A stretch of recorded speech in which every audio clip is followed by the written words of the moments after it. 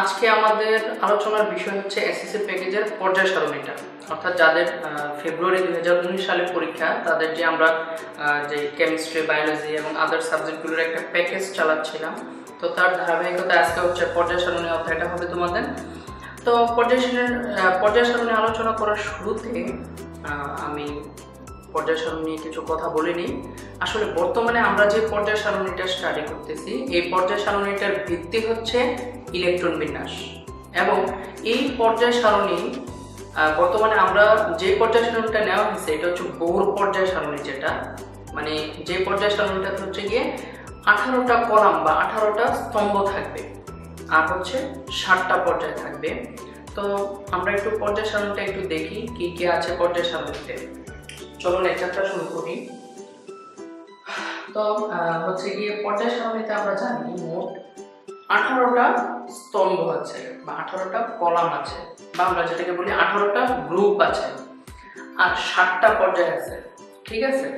তো সাতটা পর্যায়ের ভিতরে তোমার আগে পর্যায়গুলো নিয়ে আলোচনা করি, তারপরে আস্তে আস্তে গ্রুপগুলো নিয়ে আলোচনা করব।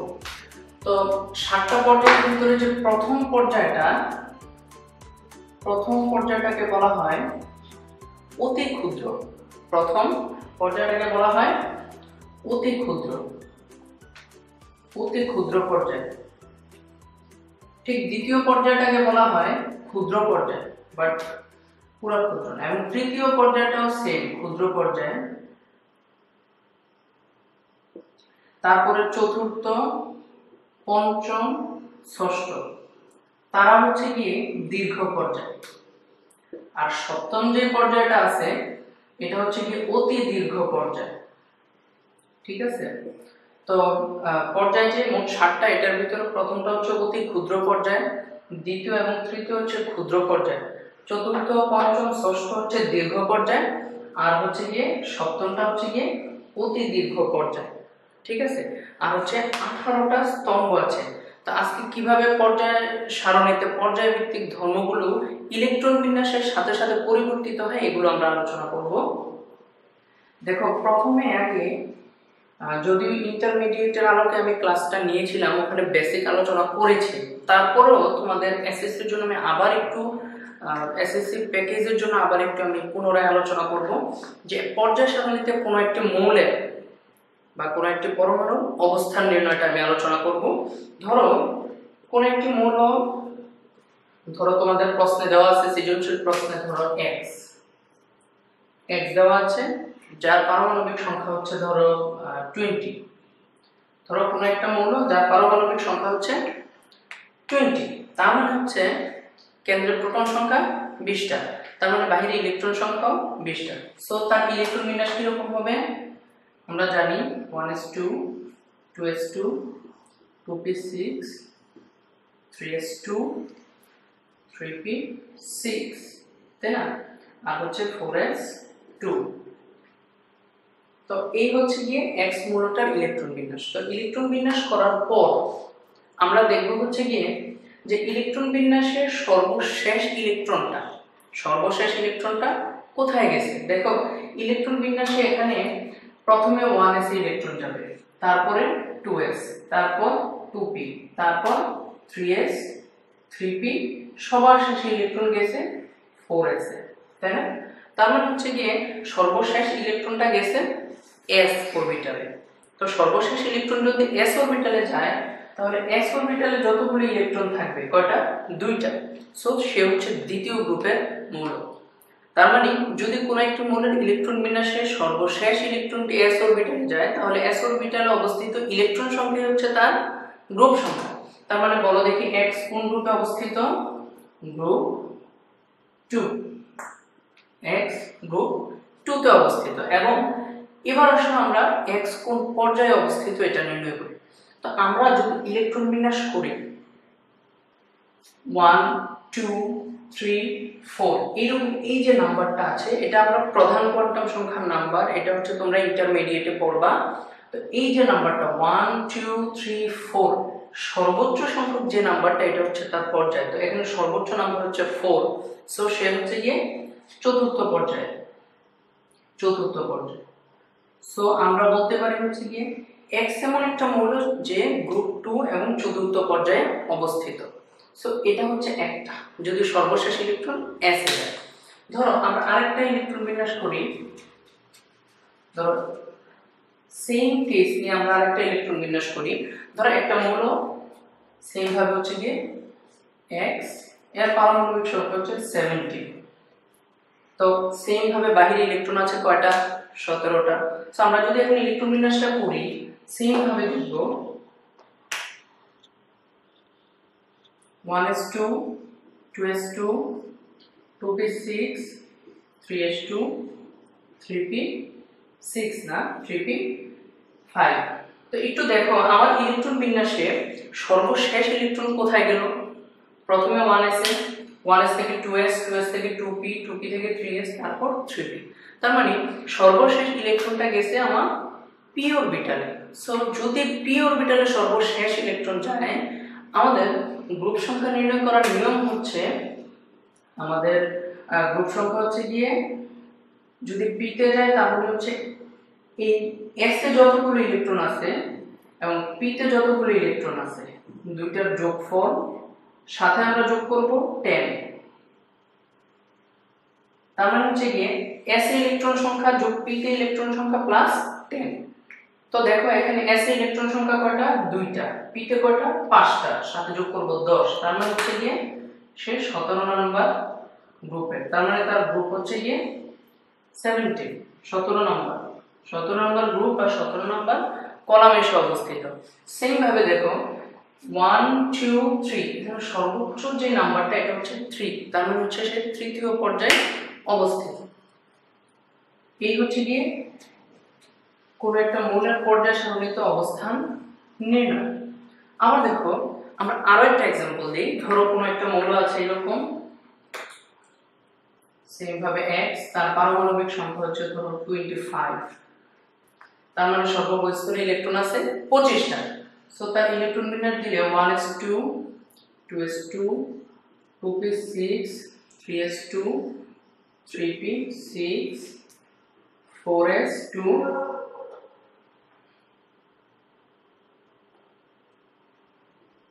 3d5 তোমরা একটু খেয়াল করে দেখবা যে ইলেকট্রনটা কীভাবে প্রবেশ করেছে। 1s থেকে 2s 2s থেকে 2p তারপর 3s তারপর 3p তারপর ফোর এস তারপর থ্রি তাহলে সবার শেষে ইলেকট্রনটা প্রবেশ করেছে ডি অরবিটালে সো এখন ডিতে সর্বশেষ ইলেকট্রন গেলে নিয়মটা হচ্ছে যে এই এস ইলেকট্রন প্লাস এই ডিতে ইলেকট্রন এস প্লাস ডি কয়টা এসে দুইটা। ডিতে কয়টা? পাঁচটা। তার মানে হচ্ছে সাতটা। তার মানে হচ্ছে সে সেভেন অর্থাৎ সাত নাম্বার গ্রুপে অবস্থিত। এক্স হচ্ছে গিয়ে সাত নাম্বার গ্রুপে অবস্থিত। তাহলে তার পর্যায় কত হবে? এক, দুই, তিন, চার। চার নাম্বার হচ্ছে এখানে সর্বোচ্চ নাম্বার সো এখানে সে হচ্ছে গিয়ে চতুর্থ পর্যায়ে মৌল। তো এভাবে আমরা পর্যায় সারণীতে কোনো একটা মৌলের অবস্থান নির্ণয় করব এই সূত্রের মাধ্যমে। এভাবে আমরা যাচাই করব। যে কোনো একটা পারমাণবিক সংখ্যা দেওয়া থাকলে আমরা ইলেকট্রন বিন্যাস করে দেবো। তো ইলেকট্রন বিন্যাস করে আমরা যে অবস্থাটা পাবো বা সর্ব এই যে রুলসটা আমি বললাম, এই রুলস আরোকে তোমরা পর্যায় সারণীতে কোনো একটা মৌলের অবস্থান নির্ণয় করবে। এখন তোমরা বাসায় প্র্যাকটিস করো। প্র্যাকটিস করার পর পজ করে তারপরে লেকচারের বাকি অংশটা দেখবে। তো লেকচারের দ্বিতীয় অংশে এখন আমি কি আলোচনা করব? এখন হচ্ছে কি পর্যায় সারণীতে কোন মৌলগুলোকে আমরা ধাতু বলব আর কোনগুলোকে অধাতু বলব? তো শুরুতে আগে আমার জানতে হবে যে ধাতু কাকে বলে, অধাতু কাকে বলে ধাতু, অধাতু। তো ধাতু কাকে নর্মালি এক কথায় যে সকল যৌগ অথবা যে সকল মৌল অথবা যে সকল পরমাণু ইলেকট্রন ত্যাগ করতে সক্ষম, তাদেরকে বলা হয় ধাতু।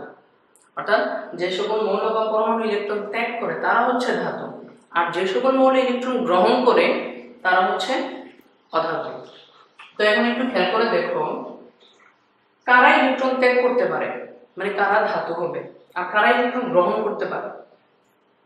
একটু খেয়াল করে দেখো, আমরা পর্যায় সারণীতে ধরো গ্রুপ ওয়ানকে যদি বিবেচনা করি গ্রুপ ওয়ান পর্যায় সারণীতে ধরো আমরা গ্রুপ ওয়ানকে বিবেচনা করলাম।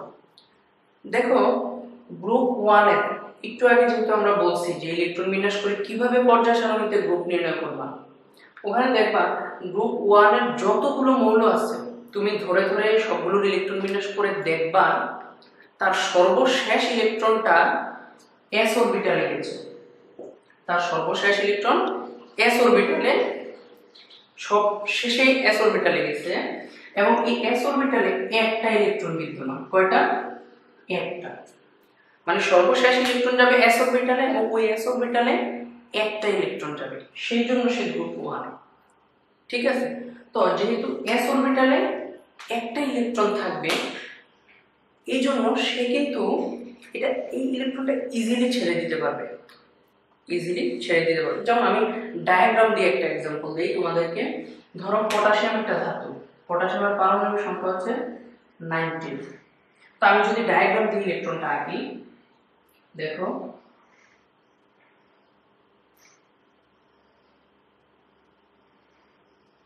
ধরো, চারটা পর্যায়, এবং তাতে যে ইলেকট্রনগুলো আছে, এটা হচ্ছে এরকম।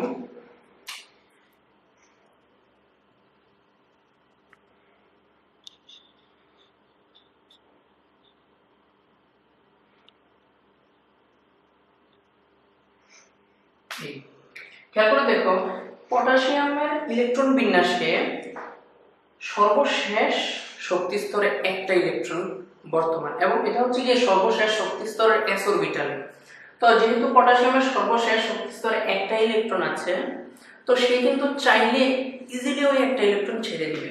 এটা সোডিয়ামের ক্ষেত্রে। এই গ্রুপে সোডিয়াম তার উপরে হাইড্রোজেন পটাশিয়ামের নিচে হচ্ছে সিজিয়াম, ফ্রান্সিয়াম, রুবিডিয়াম, সবগুলোর ক্ষেত্রে সেম কেস ইলেকট্রন বিন্যাস করো, সর্বশেষ শক্তি স্তরে একটা ইলেকট্রন থাকবে এবং এটা এস অরবিটালে থাকবে। তো সর্বশেষ ইলেকট্রনের সর্বশেষ শক্তি স্তরে যদি একটা ইলেকট্রন থাকে। পটাশিয়াম কিন্তু ইজিলি চাইলে ইলেকট্রনটা ছেড়ে দিতে পারবে। ইজিলি সে চাইলেই ছেড়ে দিতে পারবে। তো পটাশিয়াম কিন্তু ইজিলি ইলেকট্রনটা ছেড়ে দেয়। আমরা বলেছিলাম ধাতুর ক্ষেত্রে যে যে সকল মৌল বা পরমাণু ইজিলি ইলেকট্রন ছেড়ে দেয়, তারা হচ্ছে ধাতু। তো আমি দেখলাম পটাশিয়াম দিয়ে একটা আইডিয়াল এক্সাম্পল হিসাবে নিলাম যে, তার সর্ববস্তর একটা ইলেকট্রন থাকার কারণে সে ইজিলি ছেড়ে দিচ্ছে। তার মানে সে ধাতু। এবং একটা মাত্র ইলেকট্রন সে আরও খুব দ্রুত ছেড়ে দিতে চাইবে। এই জন্য সে হচ্ছে ধাতু। কোশ্চেনটা হচ্ছে যে, ভাই আপনি বললেন যে সেই ইলেকট্রনটা ছেড়ে দিতে চাইবে। আমার কোশ্চেনটা হচ্ছে সে কেন ছেড়ে দিতে চাইবে? একটা কোশ্চেন জাগতেই পারে, সে কেন ছেড়ে দিবে? খেয়াল করে দেখো পটাশিয়ামের পারমাণবিক সংখ্যা হচ্ছে উনিশ। সে যদি একটা ইলেকট্রন ছেড়ে দেয়, ধরো একটা ইলেকট্রন সে ছেড়ে দিল। ঠিক আছে? পটাশিয়ামের পারমাণবিক সংখ্যা উনিশ মানে তার সর্ববহিস্তরে ইলেকট্রন আছে উনিশটা। তড়িৎ নিরপেক্ষ পটাশিয়াম, সর্ববহিস্তরে ইলেকট্রন আছে উনিশটা। এবং সে যদি একটা ইলেকট্রন ছেড়ে দেয়, তাহলে সর্ববহিস্তরে ইলেকট্রন কটা থাকে? আঠারো। তো আঠারোটা ইলেকট্রন বিশিষ্ট পরমাণু আমরা কাকে জানি? আর্গন। আবার আমরা জানি আর্গন একটা নিষ্ক্রিয় গ্যাস। নিষ্ক্রিয় গ্যাসে ইলেকট্রন গ্রহণ করার প্রবণতাও নাই, ইলেকট্রন ছাড়ার প্রবণতাও নাই। সো নিষ্ক্রিয় গ্যাস হচ্ছে গিয়ে যে কোনো প্রকার বিক্রিয়া থেকে মুক্ত। সেই ইলেকট্রন ছাড়তেও না, গ্রহণও করতে চায় না। কেন? কারণ নিষ্ক্রিয় গ্যাস অধিক মাত্রায় সুস্থিত। তো এই পটাশিয়াম যখন একটা ইলেকট্রনকে ছেড়ে দিল, সে তখন নিকটস্থ নিষ্ক্রিয় গ্যাস আর্গনের ইলেকট্রন বিন্যাস অর্জন করে সুস্থিতি লাভ করল। এটাই হয় গ্রুপ ওয়ানের মৌলগুলোর ক্ষেত্রে, যে তারা একটা করে ইলেকট্রন ছেড়ে দিলে নিকটস্থ নিষ্ক্রিয় গ্যাসের ইলেকট্রন বিন্যাস অর্জন করে সুস্থিত হয়ে যায়। তখন সেই ইলেকট্রন ছাড়তেও চায় না ইলেকট্রন গ্রহণ করতেও চায় না। তো এই জন্য তারা যেহেতু ইলেকট্রন ছাড়তেছে, আমরা তাদেরকে বলতেছি ধাতু সেম কেসটা ঘটে গ্রুপ টু এর ক্ষেত্রে। গ্রুপ টু এর ক্ষেত্রে কি ঘটে? তুমি নিজেই এখন ব্যাখ্যা দিতে পারবা, যদি ভাইয়ের এই লেকচারটা বুঝে থাকো যে গ্রুপ টুতে যদি আমি ইলেকট্রন বিন্যাস করি, সর্বশেষ যে এস অরবিটাল এখানে এস এর দুইটা ইলেকট্রন থাকবে। গ্রুপ ওয়ানে এস এ থাকে একটা ইলেকট্রন গ্রুপ টু ইলেকট্রন বিন্যাস করে দেখো তুমি ম্যাগনেশিয়াম করো ক্যালসিয়াম করো, যেটাই করো, সর্বশেষ শক্তি স্তরে দুইটা ইলেকট্রন থাকবে। তো সর্বশেষ শক্তি স্তরে যদি দুইটা ইলেকট্রন থাকে, তার মানে সে যদি নিকটস্থ নিষ্ক্রিয় গ্যাসের ইলেকট্রন অর্জন করতে চায় তাহলে তাকে কয়টা ইলেকট্রন ত্যাগ করতে হবে। অবশ্যই দুইটা। গ্রুপ ওয়ানের তারা ত্যাগ করতে হয় একটা আর গ্রুপ টু এর তারা যদি নিষ্ক্রিয় গ্যাসের ইলেকট্রন বিন্যাস অর্জন করতে চায়, তার ত্যাগ করতে হবে দুইটা। সো সেও ইলেকট্রন ত্যাগই করতেছে আলটিমেটলি এই জন্য তাকে আমরা কি বলব? অবশ্যই ধাতব মৌল বা ধাতু তো এখন কিছু কথা আছে গ্রুপ ওয়ান এবং গ্রুপ টু এর ক্ষেত্রে। আমি ওভারঅল কিন্তু এই লেকচারটাতে তোমাদের আলোচনা করে দেবো ইন টোটাল তো গ্রুপ ওয়ান এবং টু নিয়ে আমার কি কথা? দেখো গ্রুপ ওয়ানের মৌলগুলোকে বলা হয় তীব্র ক্ষার ধাতু। গ্রুপ ওয়ান তীব্র ক্ষার ধাতু। অবশ্যই মনে রাখবা। গ্রুপ ওয়ান হচ্ছে গিয়ে তীব্র ক্ষার ধাতু। আর গ্রুপ টু কে বলা হয় মৃৎ ক্ষার ধাতু। তোমরা অবজেক্টিভে আসে এটা অনেক ক্ষার ধাতু। মৃৎ তো গ্রুপ ওয়ান হচ্ছে তীব্র ক্ষার ধাতু আর গ্রুপ টু হচ্ছে গিয়ে মৃৎ ক্ষার ধাতু ঠিক আছে? তো গ্রুপ টু কে মৃৎ ক্ষার ধাতু কেন বলা হয়? কারণ গ্রুপ টু এর ভিতরে যে দুটা মৌল আছে, একটা হচ্ছে ক্যালসিয়াম আর একটা হচ্ছে ম্যাগনেসিয়াম। কটা মৌল বললাম? দুইটা। একটা হচ্ছে ক্যালসিয়াম আর একটা হচ্ছে ম্যাগনেসিয়াম। এই দুইটা মৌল মৃত্তিকা বা মাটিতে পাওয়া যায়। মৃত্তিকা বা মাটিতে পাওয়া যায়। এই জন্য এই গ্রুপের মৌলগুলোকে বলা হয় মৃক্ষার ধাতু। সো আমরা দুইটা গ্রুপ সম্পর্কে একটু স্টাডি করে ফেললাম। সো দেখো আমরা আস্তে আস্তে কিন্তু সবগুলোই এখানে নিয়ে আসব আস্তে আস্তে। আলোচনা।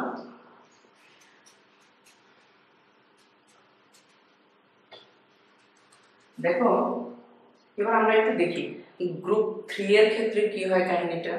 অ্যাকচুয়ালি গ্রুপ থ্রি এর ক্ষেত্রে গ্রুপ থ্রি এর ক্ষেত্রে সর্বশেষ যে ইলেকট্রন থাকে, তার মানে তার আমি একটা আইডিয়াল একটা এক্সাম্পল দিই। ধরো একটা মনে হচ্ছে অ্যালুমিনিয়াম আমরা জানি একটা মনে হচ্ছে অ্যালুমিনিয়াম তার পারমাণবিক সংখ্যা থার্টিন তার মানে ইলেকট্রন হচ্ছে তেরোটা। তো আমি যদি ইলেকট্রন বিন্যাস করি one S two two S two two P six three S two three P one একটু খেয়াল করে দেখো অ্যালুমিনিয়ামের সর্বশেষ ইলেকট্রন গেছে কোথায়? পিতে তো পি অরবিটালে যদি সর্বশেষ ইলেকট্রন যায়, আমি নিয়ম বলছিলাম S plus P plus ten তার মানে এসে আছে দুইটা ইলেকট্রন পিতে আছে একটা টেন কত হচ্ছে? থার্টিন তার মানে অ্যালুমিনিয়াম হচ্ছে তেরো নম্বর গ্রুপের মূল তাই না? তো অ্যালুমিনিয়াম তেরো নম্বর গ্রুপের মূল হলেও, আমি যদি একটু ডায়াগ্রামেটিক্যালি অ্যালুমিনিয়ামের ইলেকট্রন বিন্যাসটা দেখাই, তাহলে তোমরা একটু খেয়াল করে দেখবা। অ্যালুমিনিয়াম তো অ্যালুমিনিয়ামের তিনটা পর্যায়, তাই না? দুই,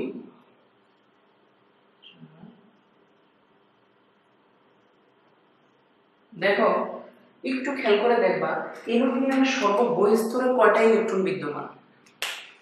এক, দুই, তিন।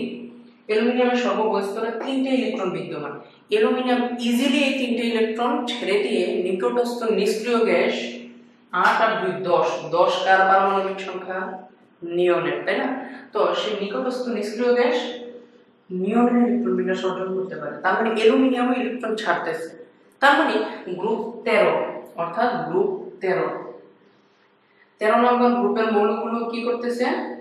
ধরো এক্স, ওয়াই, জেড, যেই থাকুক। আমি আইডিয়া অ্যালুমিনিয়াম দিয়ে এক্সাম্পল দিলাম। তো গ্রুপ তেরোতে যেই থাকুক, তারাও কি করতেছে ইলেকট্রন ছেড়ে দিচ্ছে। তার মানে আমরা তাদেরকেও ধাতুর অন্তর্ভুক্ত করতেছি। এবার আমরা একটু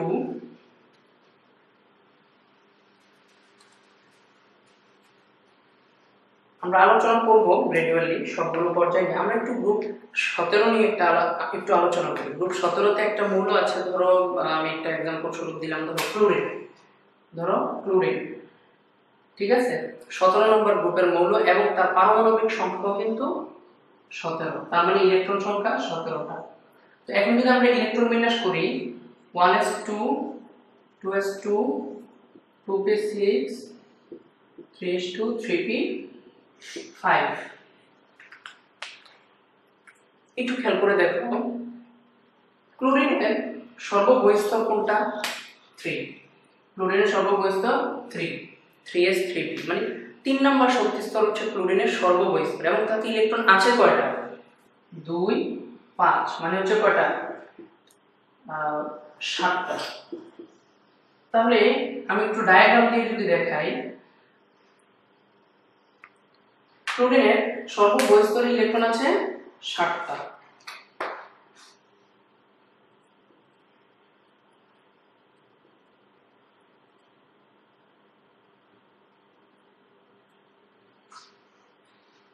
সাত দেখো ক্লোরিনের সর্ববহিস্তরে আমি ইলেকট্রন আঁকলাম কয়টা ষাটটা তো এখন ক্লোরিনের পারমাণবিক সংখ্যা আবার সতেরো। নিকটস্থ নিষ্ক্রিয় গ্যাস আর্গনের ইলেকট্রন বিন্যাসে তুমি দেখো আর্গনের পারমাণবিক সংখ্যা কত? আঠারো। তার মানে আর্গনের সর্ববহিস্তরে ইলেকট্রন আছে আঠারোটা। কিন্তু ক্লোরিনের সর্ববহিস্তরে সরি আর্গনের মোট ইলেকট্রন আঠারোটা। এবং আর্গনের সর্ববহিস্তরে ইলেকট্রন কয়টা? আটটা। কিন্তু ক্লোরিনের দেখো সর্ববহিস্তরে ষাটটা তো ক্লোরিন যদি আরও একটা ইলেকট্রন গ্রহণ করে, তাহলে নিকটস্থ নিষ্ক্রিয় গ্যাস আর্গনের ইলেকট্রন বিন্যাস পাইল না। তো এই নিকটস্থ নিষ্ক্রিয় গ্যাস আর্গনের ইলেকট্রন বিন্যাস পাওয়া মাত্রই ক্লোরিন অনেক বেশি সুস্থিত হয়ে যাবে। এই কারণে ক্লোরিন কি করবে?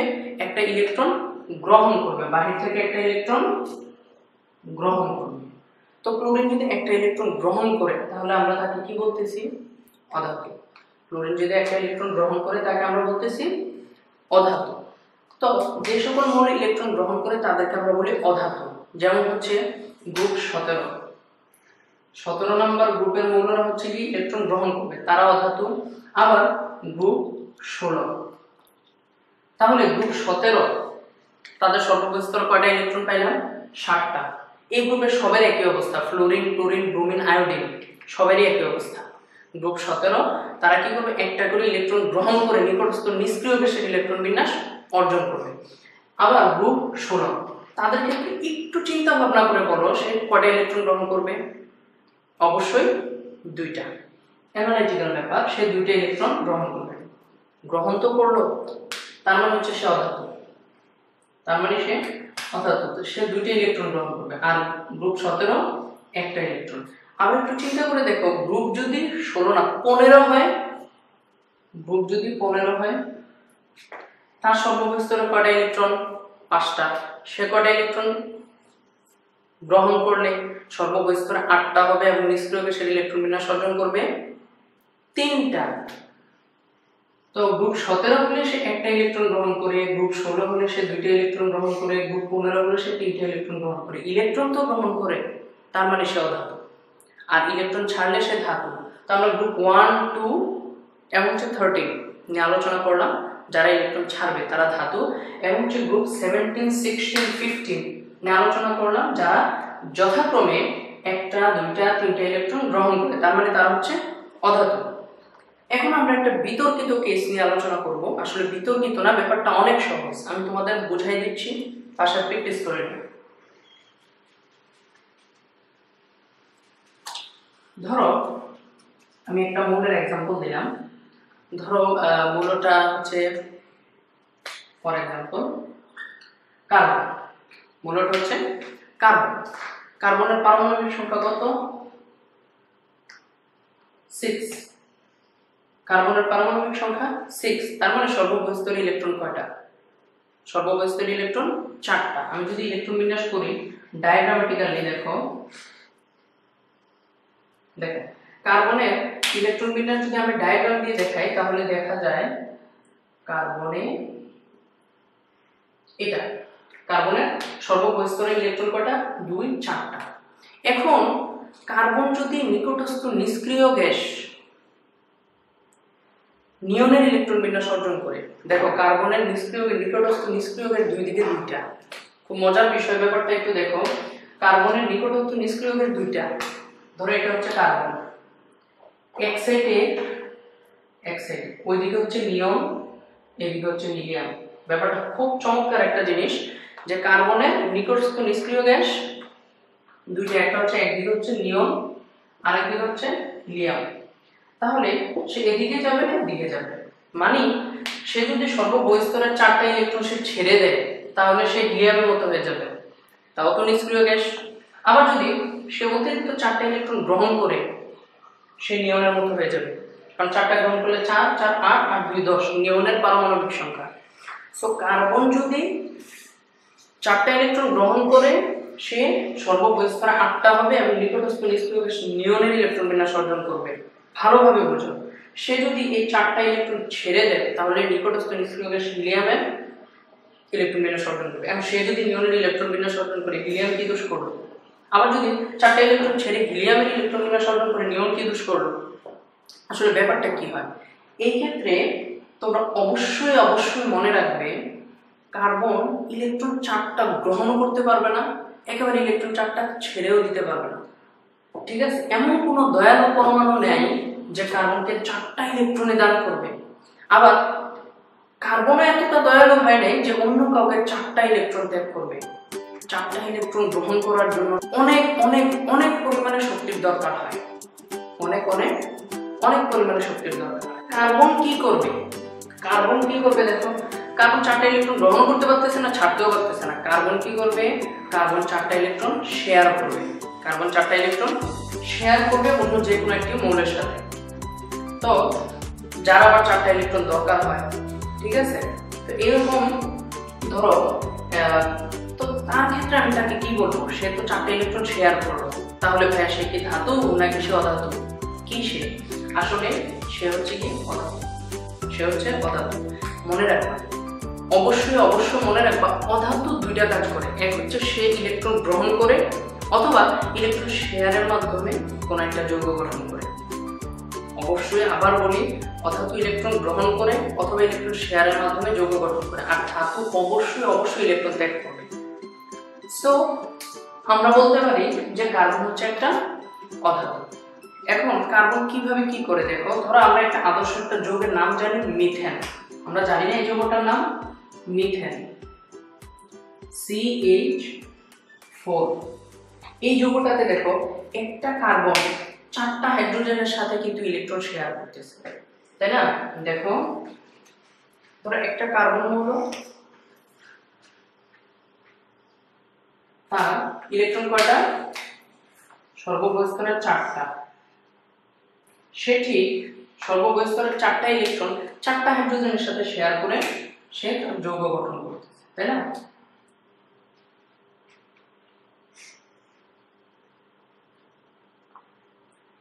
মিথেন যৌগটা গঠন করতেছে, তার মানে মিথেন একটা সমযোজী যৌগ যেখানে ইলেকট্রন শেয়ার করেছে কার্বন হাইড্রোজেনের সাথে। এই জন্য কার্বনকে আমরা বলতেছি অধাতু। তার মানে কার্বন যে গ্রুপে আছে, ওই গ্রুপের সবগুলোই অধাতু। কার্বন কত নম্বর গ্রুপে আছে? তোমরা দেখো একটু কার্বনের ইলেকট্রন বিন্যাস করে, বাসায় ট্রাই করবা। টু এস টু আচ্ছা আমি করাই দিচ্ছি, টু পি টু। তো দেখো, সর্বশেষ ইলেকট্রন কোথায় গেছে? পিতে বলছিলাম S plus P plus ten S plus P plus ten তার মানে হচ্ছে দুই যোগ দুই যোগ দশ মানে চোদ্দ। কার্বন চোদ্দ নম্বর গ্রুপে। চোদ্দ নম্বর গ্রুপের সবগুলো ইলেকট্রন শেয়ার করে যৌগ গঠন করবে এবং তারা হচ্ছে অধাতু সো এই হচ্ছে গিয়ে তোমাদের চোদ্দ নম্বর গ্রুপের ক্রাইটেরিয়া তেরো নম্বর গ্রুপ বললাম ধাতু, এক নম্বর গ্রুপ তীব্র ঘাট ধাতু, দুই নম্বর গ্রুপ মৃৎ ঘাট ধাতু। সতেরো নম্বর গ্রুপ হচ্ছে একটা ইলেকট্রন গ্রহণ করবে, তারাও ধাতু। ষোলো দুইটা ইলেকট্রন গ্রহণ করবে, তারাও ধাতু। পনেরো তিনটে ইলেকট্রন গ্রহণ করবে, তারাও ধাতু। সতেরো নম্বর গ্রুপের একটা স্পেশাল নাম হচ্ছে, তারা হচ্ছে হ্যালোজেন মূল তারা হচ্ছে হ্যালোজেন মূল কারা কারা আছে? ক্লোরিন ব্রোমিন আয়োডিন ঠিক আছে? এর উপরে হচ্ছে ফ্লোরিন এরা হচ্ছে গিয়ে সতেরো নম্বর গ্রুপ। আরও আছে, আমি এই চারটাকে মেনশন করলাম, চারটা হচ্ছে মেইন তারপরে ঠিক এর আগের গ্রুপ ষোলো নম্বর গ্রুপের একটা স্পেশাল নাম হচ্ছে, তার হচ্ছে চ্যালকোজেন মূল তারা চ্যালকোজেন মূল ওখানে কে আছে? যেমন অক্সিজেন আছে ওখানে, একটা আইডিয়াল মূল ঠিক আছে?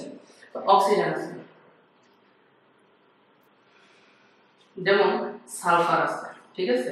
আরও মূল আছে এটসেট্রা তো এরা হচ্ছে গিয়ে ষোলো নম্বর গ্রুপ এরা হচ্ছে চ্যালকোজেন মূল, আর এরা হচ্ছে শক্ত। এদেরকে বলা হয় হ্যালোজেন মূল, ঠিক আছে? হ্যালোজেন মূল।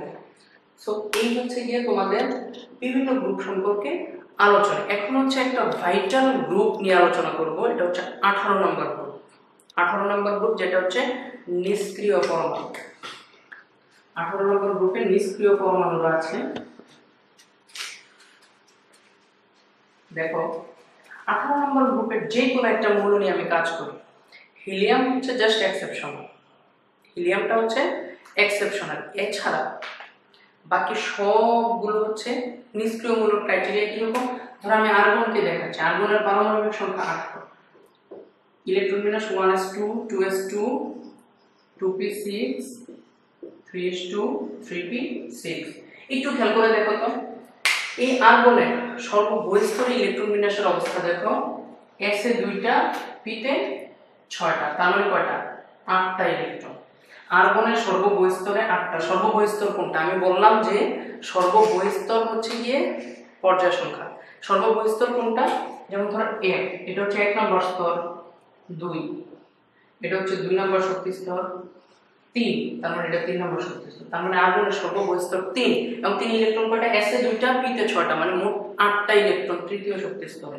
তার মানে সর্ববহিস্তরে কয়টা ইলেকট্রন আছে? আটটা। তো সর্ববহিস্তরে যদি কোনো একটা মৌলের আটটা ইলেকট্রন থাকে, আমরা তাদের কি বলি? অষ্টক পূর্ণ মৌল বলি। সর্ববহিস্তরে যদি আটটা ইলেকট্রন থাকে, আমরা তাদের বলি অষ্টক মৌল। আর অষ্টক পূর্ণ মৌল অবশ্যই অনেক অনেক বেশি সুস্থিত হবে। সেই ইলেকট্রন গ্রহণও করবে না ইলেকট্রন ছাড়তেও চাবে না। এই হচ্ছে নিষ্ক্রিয় গ্যাসের মৌলগুলো তারা ইলেকট্রন গ্রহণ করতে চায় না ছাড়তেও চায় না। কেন? এই কোশ্চেনটা আসে। কারণ তারা অষ্টক পূর্ণ সর্ববহিস্তরে এবং সব মৌল, ধাতু বলো, অধাতু বলো, ধাতুরা ইলেকট্রন ছেড়ে, অধাতুরা ইলেকট্রন গ্রহণ করে বা শেয়ার করে আলটিমেটলি সে নিষ্ক্রিয় গ্যাসের ইলেকট্রন বিন্যাস অর্জন করতে চায় এবার মাঝখানে কয়েকটা গ্রুপ আমি বাদ দিয়েছিলাম। কি?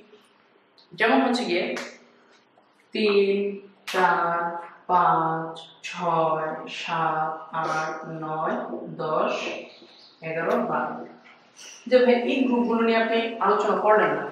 আসলে এই গ্রুপগুলো নিয়ে তোমাদের এত ডিটেলস আলোচনা নেই। যে আলোচনাগুলো সব থেকে ইন্টার লেভেলে তোমাদের লেভেলে জাস্ট বেসিকটি একটু ক্লিয়ার রাখা জরুরি। তিন থেকে বারো পর্যন্ত। দুই, চার, ছয়, আট, দশ। এই দশটা গ্রুপের মূলই বা দশটা খারাস্তম্ভের মূলই হচ্ছে, সবগুলোই হচ্ছে ধাতু। সবগুলোই ধাতু। কিন্তু তারা এস ব্লকের মৌলগুলোর মতো তীব্র ক্ষার ধাতু অথবা মৃৎ ক্ষার ধাতু না। তাদের, তারা হচ্ছে গিয়ে আলাদা একটা মানে আলাদা কিছু গ্রুপ, যারা হচ্ছে তাদের কিছু মৌল হচ্ছে অবস্থান্তর ধাতু, ঠিক আছে? তারা হচ্ছে অনেক ভারী ধাতু। এবং এর ভিতরে মেইনলি ডি ব্লক বলি আমরা। ডি ব্লক এবং এফ ব্লকের মৌলগুলো এখানে আছে। ডি ব্লক এবং এফ ব্লকের মৌলগুলো তিন থেকে বারো নম্বর গ্রুপের মাঝখানে আছে। তোমরা জাস্ট এতটুকু মনে রাখো ব্লক কি জিনিস ডি ব্লক এফ ব্লক এগুলো হচ্ছে তোমাদের ইন্টারে আপাতত মনে রাখো, তিন থেকে বারো পর্যন্ত সবাই ডি ব্লকের অন্তর্ভুক্ত। তিন থেকে বারো পর্যন্ত এফ ব্লকের মৌলগুলো আছে। দেখে যে ডি ব্লকের মৌলগুলো অধিকাংশ ক্ষেত্রে সাধারণত তারা রঙিন যৌগ গঠন করে, তাদের প্যারাচুম্বক ধর্ম আছে, এবং তারা হচ্ছে অনেক ভারী ধাতু এবং উচ্চ গণনাঙ্ক, স্ফুটনাঙ্ক বিশিষ্ট আরও কিছু ধর্ম তোমাদের বই দেওয়া আছে। আর এফ ব্লকের মৌলগুলো সাধারণত ল্যান্থেনাইট অ্যাক্টেনাইট সিরিজের মৌলগুলো হয়। ল্যান্থেনাইট অ্যাক্টেনাইট সিরিজ যারা হচ্ছে তীব্র তেজস্ক্রিয় মৌল। এফ ব্লকের একটা কমন বৈশিষ্ট্য, তারা তীব্র তেজস্ক্রিয় মৌল। তীব্র তেজস্ক্রিয় মৌল। তো এই হচ্ছে মোটামুটি আজকের লেকচার এটা হচ্ছে পার্ট ওয়ান তোমাদের আরও ডিটেলস আমি পার্ট টুতে আলোচনা করব। এই অধ্যায় নিয়ে সক্রিয়তা থাকবে, ওখানে পরমাণুর আকার থাকবে, আয়নীকরণ বিভব নিয়ে একটু সামান্য আলোচনা করব। এবং হচ্ছে কি আদার্স পোলার যোগ বা বিভিন্ন জিনিস নিয়ে আলোচনা করব এই অধ্যায়ে পার্ট টুতে এই হচ্ছে তোমাদের পার্ট ওয়ান তোমরা লেকচারটা দেখবে বাসা অবশ্যই সৃজনশীল প্র্যাকটিস করবে। আল্লাহ হাফেজ। আলাইকুম।